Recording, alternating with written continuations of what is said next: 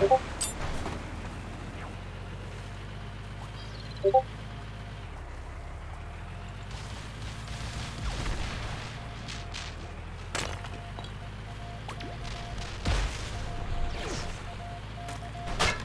little longer than a few minutes later.